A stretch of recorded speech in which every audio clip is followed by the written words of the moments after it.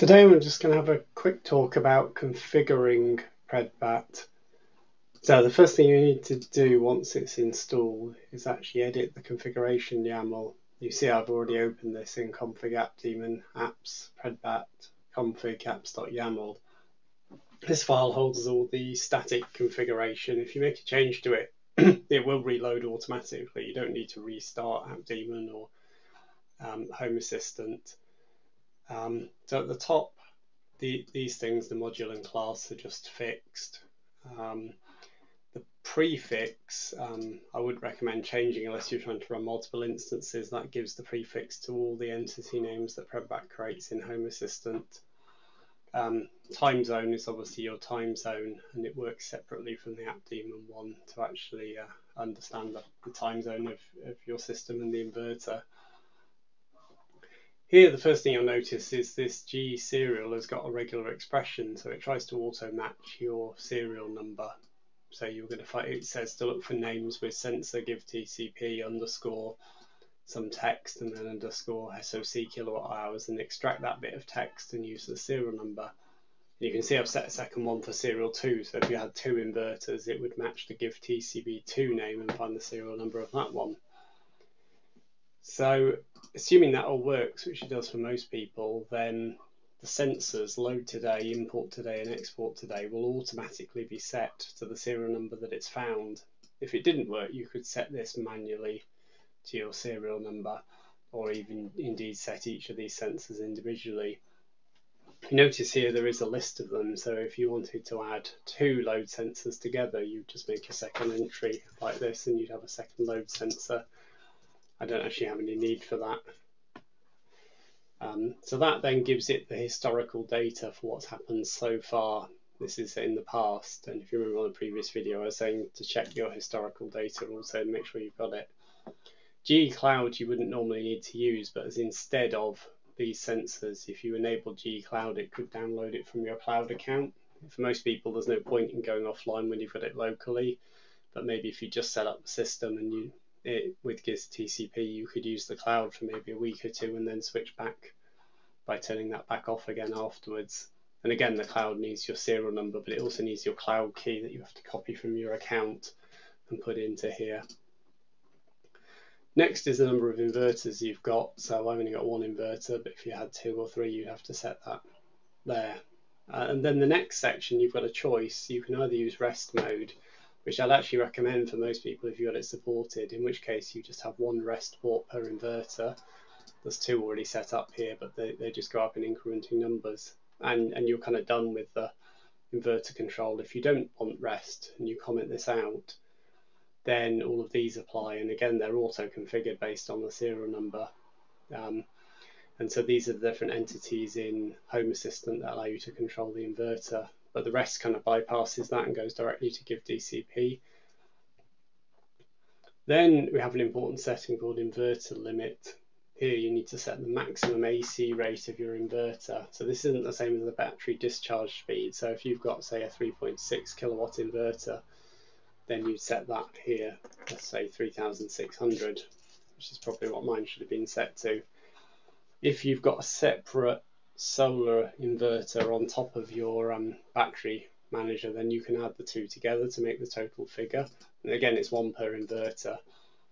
Um, and it's important if you want to do discharge because if this figure is too low, then you won't have enough spare um, to discharge and deal with solar at the same time. So try and get that number right.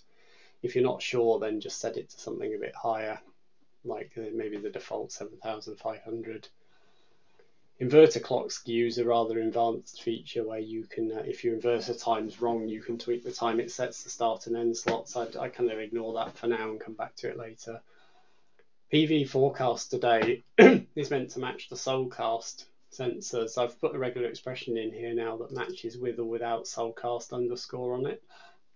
So it's sensor forecast today or sensor Solcast forecast today. If these don't match up, you'll need to set them manually to where your Solcast sensor names, uh, and that's important also. Car charging energy is essentially a way to make your historical data more accurate by finding a sensor that tells you when you were charging your car.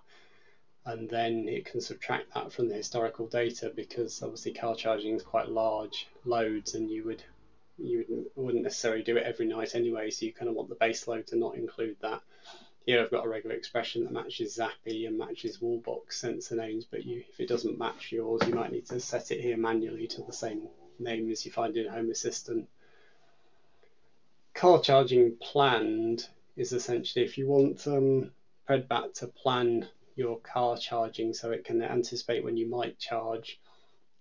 So this sensor essentially says the car's plugged in and because different car sensors have different states, these are a list of possible states that mean the car's plugged in and will actually charge tonight.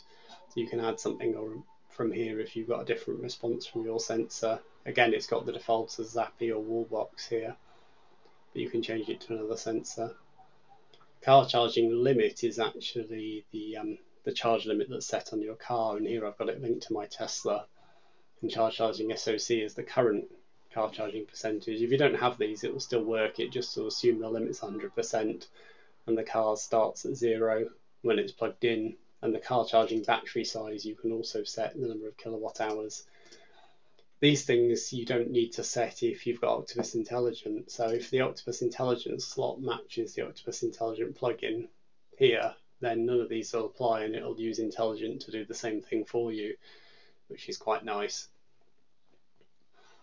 Then the um, your energy rates are the next thing. So these are really important. So you can use the Octopus plugin if you've got Octopus tariffs to set your import and export tariff, and again they auto match the meter numbers for you, but if it doesn't work, you'll have to paste the name of the the, the rate sensors in manually. Or if you don't have intelligent, just comment these out and you can set the rates yourself. So you can set different time bands and different rates for both import and export. This example, there's just one fixed export rate, but you can have different time bands for that as well.